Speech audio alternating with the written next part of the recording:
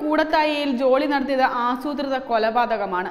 ജോളി എന്ന നരാധമയായ സ്ത്രീയുടെ ക്രൂരത കേട്ട് മലയാളികൾ ഒന്നടങ്കം ഞെട്ടിത്തെരിച്ചിരിക്കുകയാണ്. കണ്ണൂർ പിണറായിയിൽ അച്ഛനെയും അമ്മയെയും കുട്ടികളെയും കൊന്ന സൗമ്യയെ വെല്ലുന്ന ക്രൂരതയാണ് ഈ നരാധമയായ സ്ത്രീ നടത്തിയത്. വഴിവിട്ട ബന്ധത്തിലെ കാമുകനെ സ്വന്തമാക്കാനും സ്വത്ത് തട്ടിയെടുക്കാനുമായിരുന്നു ഈ ക്രൂരകൃത്യങ്ങൾ നടത്തിയത്. പതിനാല് വർഷം കൊണ്ടാണ് കൂട്ടക്കൊലപാതകങ്ങളെന്ന തന്റെ ലക്ഷ്യത്തിൽ ജോളി എത്തിയത്. രണ്ടായിരത്തി രണ്ടിൽ ആദ്യ കൊലപാതകം. രണ്ടായിരത്തി പതിനാറിൽ കാമുകന്റെ ഭാര്യയെ കൊലപ്പെടുത്തിയതോടെ ലക്ഷ്യങ്ങൾ പൂർണ വിജയം. ഇതിനുശേഷം രണ്ടായിരത്തി പതിനേഴിൽ കാമുകനായ ഷാജുസ്കറിയെ ജോളി കല്യാണം കഴിച്ചു. എല്ലാം സുഭദ്രമാണെന്ന് കരുതിയിരിക്കെയാണ് സംശയങ്ങളുമായി റോജോ അമേരിക്കയിൽ നിന്ന് വിമാനം ഇറങ്ങിയത്. സ്വത്ത് തർക്കത്തിലെ റോജോയുടെ പരാതിയാണ് മനുഷ്യ മനസാക്ഷിയെ ഞെട്ടിക്കുന്ന കൊലപാതക പരമ്പരയുടെ ചുരുളഴിച്ചത്. അമ്പത്തിയേഴ് വയസ്സുള്ള അന്നമ്മ തോമസ് മരിച്ചത് രണ്ടായിരത്തി രണ്ടിലായിരുന്നു ആട്ടിൻ സൂപ്പ് കഴിച്ചതിന് പിന്നാലെ അന്നമ്മ തോമസ് ഛർദ്ദിച്ച് തളർന്നു വീഴുന്നു. വായിൽ നൂരയും പതയും. ആശുപത്രിയിൽ എത്തിക്കുന്നതിന് മുമ്പ് തന്നെ മരിച്ചു. രണ്ടായിരത്തി എട്ടിലായിരുന്നു ടോം തോമസിന്റെ മരണം. കപ്പപ്പുഴുക്ക് കഴിച്ചതിന് ശേഷം ഛർദ്ദിച്ച് തളർന്നു മരിക്കുകയായിരുന്നു. അന്ന് വീട്ടിലുണ്ടായിരുന്നത് ജോളി മാത്രം. ജോളിയുടെ നിലവിളി കേട്ട് ഓടിയെത്തിയവർ ടോം തോമസിനെ ആശുപത്രിയിൽ എത്തിച്ചെങ്കിലും വഴിമതിയായിരുന്നു മരണം. രണ്ടായിരത്തി പത്തിലായിരുന്നു ജോളിയുടെ ഭർത്താവ് റോയ് തോമസിന്റെ മരണം. പുറത്തുപോയി വന്നയുടൻ ശുചിമുറിയിലേക്ക് റോയ് തോമസ് പോകുന്നു. അന്നും വീട്ടിലുണ്ടായിരുന്നത് ഭാര്യ ജോളിയും മക്കളും മാത്രമായിരുന്നു. അയൽവാസികളെത്തി വാതിൽ പൊളിച്ച് റോയിയെ പുറത്തെടുത്തു. രണ്ടായിരത്തി പത്തിലായിരുന്നു എം എം മാത്യു മഞ്ചാടിയലിന്റെ മരണം. ഭാര്യ വീട്ടിൽ പോയതിനാൽ തനിച്ചായിരുന്നു ഇയാൾ. മാത്യു മഞ്ചാടിയലിന്റെ തളർന്നു വീഴൽ പുറം ലോകം അറിഞ്ഞത് ജോളിയിലൂടെയായിരുന്നു. അയൽവാസികൾ വീട്ടിലെത്തുമ്പോൾ കണ്ടത് നുരയും പതയും വന്ന് നിലത്ത് കിടക്കുന്ന മാത്യുവിനെ. ആശുപത്രിയിൽ എത്തും മുമ്പ് മാത്യു മരിച്ചു. സഹോദരന്റെ ആദ്യ കുർബാന ദിവസം രാവിലെ ഇറച്ചിക്കറി കൂട്ടി. ബ്രെഡ് കഴിച്ചതിന് പിന്നാലെയാണ് ബോധരഹിതയായി ആൽഫൈൻ ഷാജു മരിച്ചത്. രണ്ടു വയസ്സായിരുന്നു പ്രായം. രണ്ടായിരത്തി പതിനാലിലായിരുന്നു ഈ ദുരൂഹ മരണം. രണ്ടായിരത്തി പതിനാറിലായിരുന്നു സിലി ഷാജുവിന്റെ ദുരൂഹ മരണം.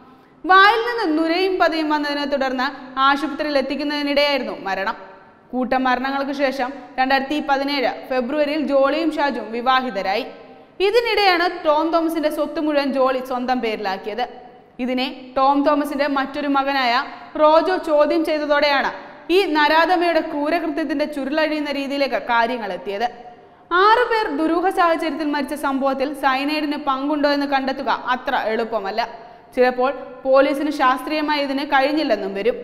എന്നാൽ ജോളിയുടെ ഭർത്താവ് റോയി മരിക്കുന്നത് രണ്ടായിരത്തി പതിനൊന്നിലാണ് അന്ന് സംശയത്തെ തുടർന്ന് റോയിയുടെ മൃതദേഹം പോസ്റ്റ്മോർട്ടം നടത്തിയിരുന്നു. അതിൽ സൈനൈഡിന്റെ അളവ് വ്യക്തമായിരുന്നു. അതുകൊണ്ട് തന്നെ മറ്റുള്ള അഞ്ചു പേരുടെ മരണത്തിൽ ജോളിയെ നിയമപരമായി കുടുക്കാനായില്ലെങ്കിലും റോയിയുടെ മരണത്തിൽ വിഷാംശം കണ്ടെത്തിയത് ഭാര്യയായ ജോളിയെ കുടുക്കും. ഇതിനൊപ്പം വ്യാജ വിൽപത്രം തയ്യാറാക്കിയ കേസും ഊരാ കൊടുക്കാകും. കേരളം ഇതേവരെ കണ്ട ഏറ്റവും പൈശാചികമായ കൊലപാതകങ്ങൾ നടത്തിയ സ്ത്രീ കുറ്റവാളിയായി ജോളി മാറിക്കഴിഞ്ഞു. ബന്ധുക്കളുടെ മരണശേഷം വ്യാജരേഖ ചമച്ച് സ്വത്തുകൾ തട്ടിയെടുക്കാൻ ജോളി ശ്രമിച്ചതാണ് കേസിൽ നിർണായകമായത്. അന്വേഷണം ജോളിയിലേക്ക് നീണ്ടതിനു പിന്നാലെ നുണപരിശോധനയ്ക്ക് വിധേയമാകാൻ പോലീസ് ആവശ്യപ്പെട്ടെങ്കിലും ഇവർ നിഷേധിച്ചു. ഇതോടെയാണ് അന്വേഷണ സംഘം ശാസ്ത്രീയ തെളിവുകൾ തേടി കല്ലറ തുറക്കുന്നതിലേക്ക് വരെ എത്തിയത്. പരാതിക്കാരനായ റോജോയെ പരാതി നൽകുന്നതിൽ നിന്ന് പിന്തിരിപ്പിക്കാൻ ശ്രമിച്ചതായും ആരോപണം ഉയർന്നിരുന്നു. സംഭവത്തിൽ ജോളിയെ പോലീസ് തുടർച്ചയായി ചോദ്യം ചെയ്തിരുന്നു. മൊഴികളിൽ വൈരുദ്ധ്യമുണ്ടെന്ന് പോലീസ് അറിയിച്ചു. മരണത്തിലെ സമാനതയാണ് കൊലപാതകമെന്ന സാധ്യതയിലേക്ക് അന്വേഷണ സംഘത്തെ നയിച്ചത്. മരണത്തിലെ ദുരൂഹതയും ആറു മരണങ്ങൾ നടന്നിടത്തും ജോളിയുടെ സാന്നിധ്യം ഉണ്ടായിരുന്നതും പോലീസിന്റെ സംശയങ്ങൾ വെള്ളപ്പെടുത്തിയിരുന്നു ആറുപേരുടെയും മരണത്തിൽ തനിക്ക് പങ്കുണ്ടെന്ന ജോളി പോലീസിനോട് തുറന്നു പറഞ്ഞു. ചെറിയ തോതിൽ സൈനൈഡ് ഭക്ഷണത്തിൽ കലർത്തി നൽകിയാണ് കൃത്യം നടത്തിയതെന്ന് ജോളി സമ്മതിച്ചതായിട്ടാണ് സൂചന. മൃതദേഹം പുറത്തെടുത്ത് രാസപരിശോധനയ്ക്ക് നൽകിയതിന് പിന്നാലെയാണ് ജോളി കുറ്റസമ്മതം നടത്തിയത്. അന്വേഷണം മുന്നോട്ട് നീങ്ങുന്നതിനോടൊപ്പം വ്യാജ വിൽപത്രം തയ്യാറാക്കാൻ സഹായിച്ച ആളിലേക്കും അന്വേഷണം നീങ്ങും. ക്രൂരമായ കൊലപാതകങ്ങൾ നടത്തിയ ജോളിയുടെ വീടും പരിസരങ്ങളും പോലീസ് നിരീക്ഷണത്തിലാണ്. Web desk Tathwamayi news.